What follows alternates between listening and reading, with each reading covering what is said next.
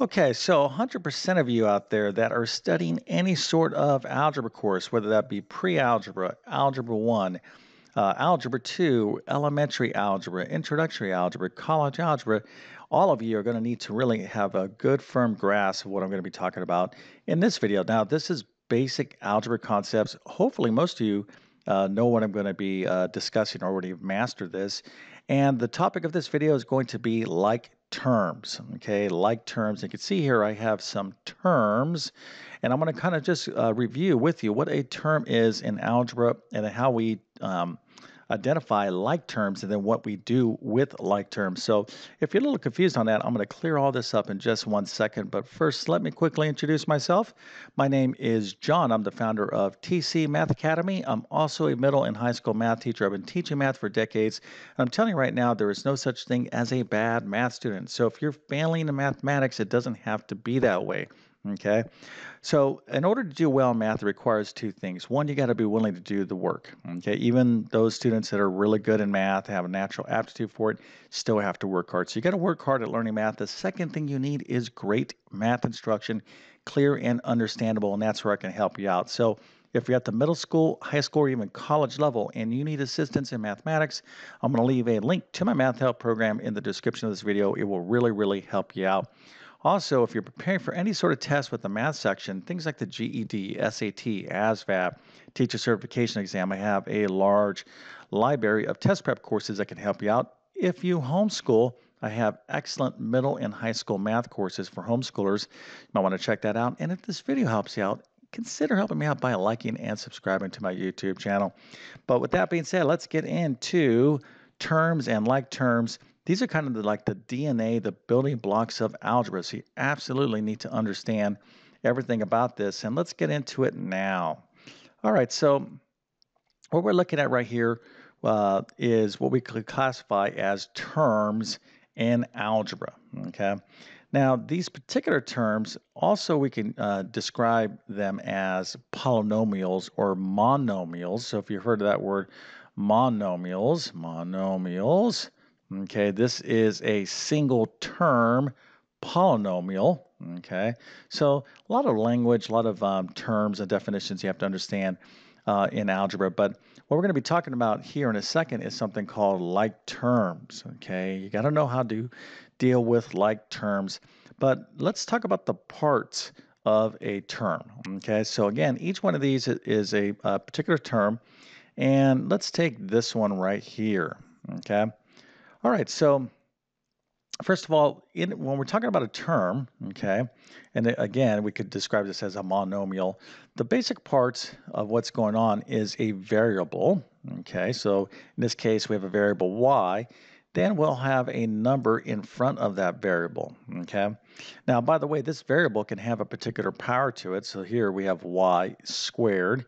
Uh, let's contrast that to this one, this is y to the what? You might be saying, well, there's no power here. Well, when you just have a variable like this, there's always uh, at least a 1. So this is y to the first power. So that's what that is right there, but we never typically write that that way. So this is a variable, okay, right here. It could be y, could be x, could be anything. So don't get um, stuck on, oh, it has to be a y or a z. No, it could be any variable. All right, so again, we're talking about what makes up a term in algebra. So you're going to have a variable, and then you're going to have some sort of number in front of that variable. That number could be any real number. Okay, so here I have a 3, but it could be uh, just as well 1 half y squared. It could be negative 1.7 y squared. Doesn't make a difference as long as it's a real number. Any number that on a number line, you're okay okay? Now, this number in front of a variable is called a coefficient, okay? A coefficient, you need to understand that. Uh, let me attempt to spell it, C-O-E-F-I-C-I-N-T, I believe is the correct spelling. Listen, you come to my YouTube channel, for math help. Definitely don't come to my channel for grammar or spelling help. I will definitely uh, mislead you because I am uh, not good in those categories, hence why I am a math teacher. All right, so anyways, coefficient, I do believe I spelled it correctly, coefficient, uh, but that's what this number is described as, okay? So we have a coefficient, the number in front of this variable. So let's take a look at uh, this one right here, okay? So what is the variable? Well, clearly it is y, okay? The power is, or the exponent is 3. Okay, that's the, it's y cubed. And what's the coefficient? Uh, negative 2. Okay, so uh, all of these here are various terms. Okay, so this is a term, again, uh, the terms that we are looking at are uh, uh, polynomials, okay, which is a huge topic in algebra.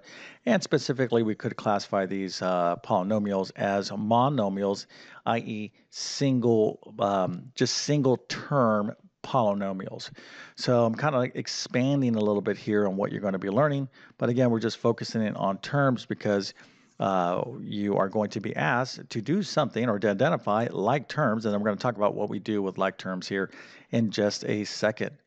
All right, so now let's talk about like terms. So we talked about all these right here being terms, but what makes a term um, uh, alike? Well, I'm going to go ahead and tell you, or I'm going to highlight uh, terms here. Out of all these right here, these two terms are like terms, okay? So why do you think they are like? All right, now it should be kind of obvious. Matter of fact, put your answer into the comment section if you can kind of give me a, a definition of like terms in your own words. But what makes two terms uh, like terms is that their variable and power to that variable is exactly the same.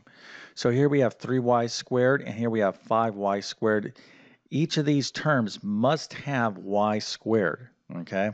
So for example, 3y squared and 5y, okay, would not be like terms. You might be saying, well, they both have a y, okay, well, no, uh, that's not good enough, okay, they must have a y squared. So you must have the exact same variable, okay, it can't be y and this can't be x. There must be y, it must be uh, to the same power, okay, so again, you're looking for things with the exact same uh, variable the exact same letter or symbol to the exact same power. So these two terms are like terms. So knowing that, what other terms are like? Well, 3y and 5y, they both have exactly a y to the first. And then over here we have negative 2y cubed. Uh, there is no other term with a y cubed, so this term is all by itself. Okay, so that's what a like term is. Now, what can you do with like terms? Well, what you can do with like terms is combine them. So how does that work? Well, let's go ahead and take a look at a problem. Let's uh, use this 3y squared. Now let's say we wanted to combine it or add this with 5y squared, okay? So in algebra, you often have uh, like terms, things like this, and what you can do, again, is combine them. So what does that mean? Well, you, we can add them up. If I have three y squares over here and I have five y squares over here, how many total y squares? Well, all you need to do is add the coefficients. So in this case, we would have 8y squared. Okay, so if you have 3y squared plus 5y squared, we can add these up because these are like terms and you get 8y squared. So let's uh, take another situation. What if I had 3y squared plus negative 10y squared. Okay, what would be the answer there? Well, we would still just add the coefficients. So negative 10 and 3 is what? Hopefully you're up to speed on your positive and negative numbers. That would be negative 7y squared. Okay, that's the answer. Again, what we're doing here is combining like terms, and we're, um, uh, the way we're doing it is first identifying uh, which terms are like, and then we're going to go ahead and add the coefficients of those respective like terms. Okay, so let's go ahead and take a look at this little final practice problem. So if you think you could do this, go to pause the video and add up any like terms uh, if you see any. Okay, so uh, I'm going to go ahead and answer this now. So the way you do this, you just kind of scour through and identify things that have the same variable and power. So here I have a 6m. I'm looking with any anything else with a m to the first power. So I'm like, oh, okay, here is an m to the first power, and I'm looking, I don't see any more. So a good way of doing this is just kind of scanning, okay, like this. Matter of fact, I'll do it this way because you don't have a highlighter. Uh, you can, you know, um, underline stylistically things like this. as you get um, as you practice combining like terms. So I have a 6m and a negative 1m. Okay, so now I can combine these like terms. So I'm going to be thinking, all right, 6 plus negative 1 is what? These are the coefficients, 6 and negative 1. This negative m, there's really a, a negative 1 there. So that would be, of course, uh, 5. Okay, so if you didn't see that, kind of wanted to spell that out for you. So we would have 5m. Now, when you're working with a, a string of terms like this, a good thing to do once you're done combining uh, your like terms is just kind of uh, draw one line, not a bunch of lines. Not don't do this because you need to be able to see what's going on. Just draw one nice, neat line through the terms that you combined. Okay, so we have 5m. All right, so uh, let's go ahead and continue to look for uh, the next uh, power. Okay, I kind of like to go from left to right. So now I'm thinking to myself, what kind of m squared? Do I have any more m squareds? All right, I'm not worried about that number just yet. I'm just looking for m squares, m cubed. Nope. Oh, I got another m squared right there. So you might want to use um, uh, like two lines, okay? After a while, you won't need to do any of this stuff, put lines in there. But as you learn this, just try to, you know, do something that would identify that. So now I have negative 8 plus 2, okay? These are the coefficients.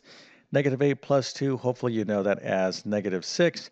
So it would be negative 6m squared, okay? Negative 6m squared. And then once we're done combining those like terms, let's go ahead and put a nice one single line again to those terms.